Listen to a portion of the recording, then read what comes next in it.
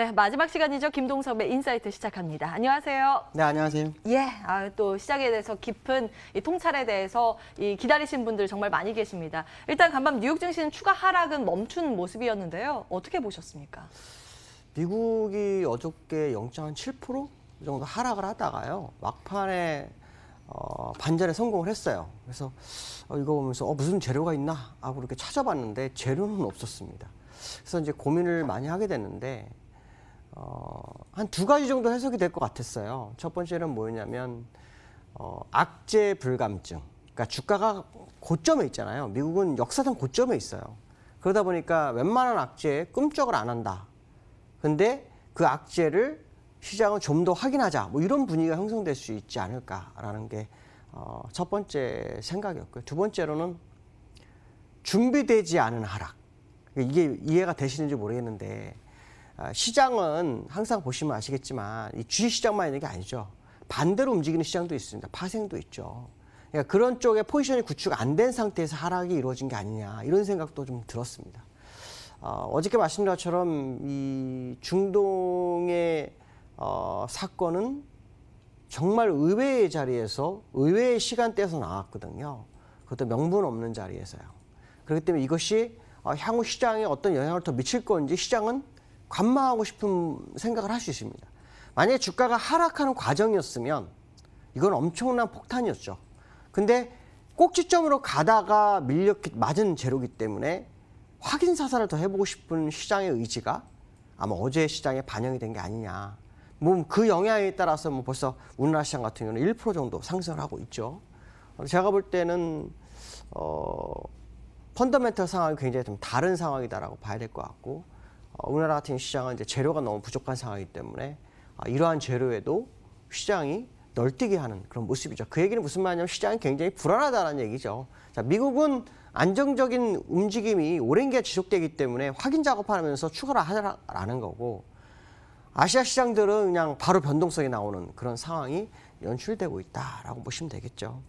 어, 특별한 재료는 없습니다. 앞에서 말씀드린 것처럼 아, 중동에 대해서 어, 시장이 어떻게 반응하는지는 좀 더 시간이 필요하지 않겠나라는 부분과 아, 지난번에 제가 월봉 완성이 되려면 일봉상으로 추세선을 돌파해야 된다라는 얘기를 했는데 어, 그것이 월봉이 완성되기 전에 확인하는 방법이다라고 말씀드렸잖아요. 근데 그게 아직도 다 해결은 되질 않았습니다. 자, 기술적으로는 음, 윗꼬리가 긴 음봉이었어요. 약간 음봉이었는데 몸통이 생긴 양봉으로 약간 변화가 된 상황이다라고 보시면 될 것 같고요. 어, 제가 볼 때는 이번 주 정도면 확인되지 않을까 생각이 듭니다. 왜냐하면 어, 이란이나 이라크에서는 미군 철수, 이라크에서 미군 철수가 얘기가 나오잖아요. 어, 그런 부분까지 다 감안한다면 어, 미국 시장에서 투자가들이 시장에 대해서 좀 더 확인하고 서치해야 되는 그런 과정이 필요하다고 생각을 되고 있죠. 기술적으로는 월요일, 화요일 정도가 굉장히 중요한 자리라고 제가 말씀드렸는데 오늘 밤까지 미국은 기술적으로는 봐야 될 것 같고 사건 상황으로 보기에는 아, 일주일 정도는 더 지켜봐야 되지 않겠나. 근데 제가 볼 때는 악재 불감증이 있는 것 같습니다. 오랫동안 올랐기 때문에 아마도 한 번에 내리기에는 어, 좀 시장이 확인하고 싶은 의지가 굉장히 큰 게 아니냐라는 생각을 해봐야 될 것 같고요.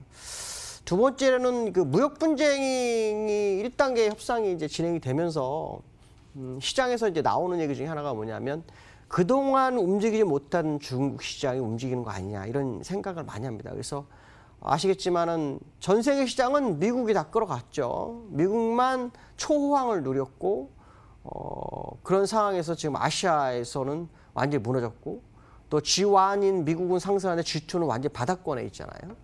근데 그게 가장 기본적으로 문제가 된 것이 이제 무역 협상이 상당히 컸다라는 거죠.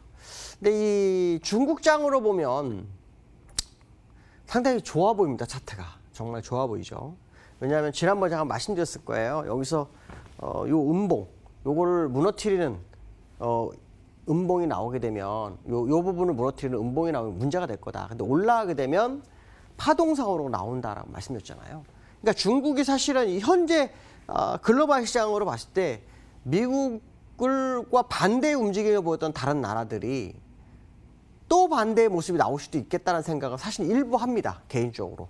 그게 이제 중국장이 키포인트가 되는 거죠. 왜냐하면 중국장 올라가게 되면 항상 그렇잖아요. 미국장이 열리고 아침에 영향받고 중국장이 열리고 중국장 영향 시간 이후 우리나라 영향받고 항상 그랬기 때문에 어쩌면 어, 무역 분쟁이 어, 중국을 살려주는 모습이 나왔을 때 미국 같은 경우에는 오히려 어, 신고가를 못 가고 거꾸로 디커플링이 나올 수 있는 부분이 있지 않을까 뭐 그런 생각 해볼 수 있는 차트의 모습인데요.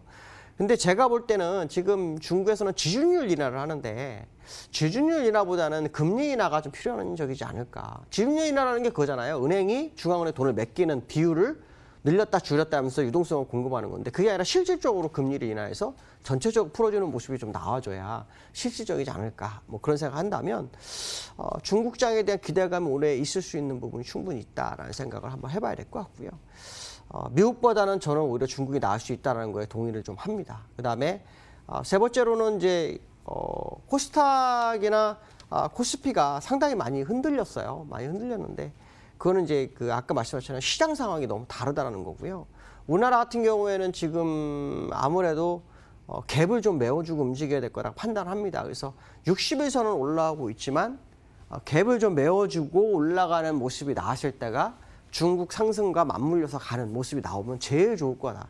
중요한 것은 뭐냐면 이제 미국만 바라보는 시점이 좀 멀어질 수 있다는 것 좀 한번 생각을 해봐야 될 것 같고요. 어, 미국의 하락에 민감하게 반응하겠지만 또 다른 중국의 변화가 온다면 어, 또 다른 우리나라 시장의 모습이 어, 2020년에 나타날 수 있다라는 생각해야 될 것 같습니다. 오늘 여기까지 하겠습니다. 감사합니다. 네, 오늘 양시장이 여전히 좀 강한 모습 포착되고 있습니다. 미국과 이란의 갈등이 전면전으로 확대될 가능성이 낮다라는 일종의 안도 심리가 좀 나타나고 있는데요. 뭐 최악의 국면은 가능성이 낮을 수는 있겠습니다만 시장이 가장 싫어하는 것은 또 이 불확실성이지 않나 생각이 됩니다. 양국의 갈등이 또 장기로 어떻게 진행이 되는가 여부도 중요하니까 이 이슈는 이번 주 내내 들여다보셔야 될 것 같습니다. 음, 외국인들이 중국 소비 관련주를 관심을 가지고 있네요. 남은 오후장도 MTN과 함께 종목별 대응 전략 꼼꼼히 세워보시기 바라겠고요. 저희는 여기에서 인사드리겠습니다. 시청해주신 여러분 고맙습니다.